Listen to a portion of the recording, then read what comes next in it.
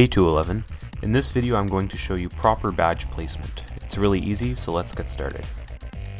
The first badge that cadets will receive is the shoulder flash. Each shoulder flash is to be sewn on 2 centimeters from the shoulder seam. Now for rank badges. All rank badges between the rank of LAC and Flight Sergeant are sewn halfway between the elbow and the shoulder. Summer camp badges should be worn on the right sleeve.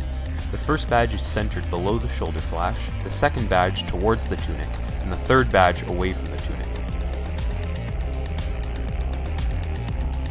The same principle applies for qualification badges, except these are sewn on the left sleeve.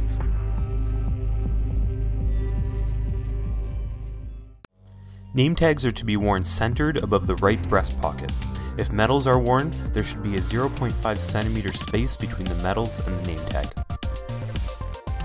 One qualification pin should be worn centered on the left breast pocket.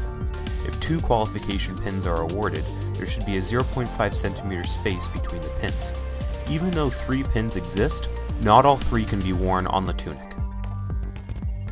Finally, pilot wings are placed centered immediately above the left breast pocket. Thank you for watching this video. If the badge you were looking for was not mentioned in this video, be sure to check the resources page of the 211 website to find out how to sew on the badge you're looking for. Thanks again.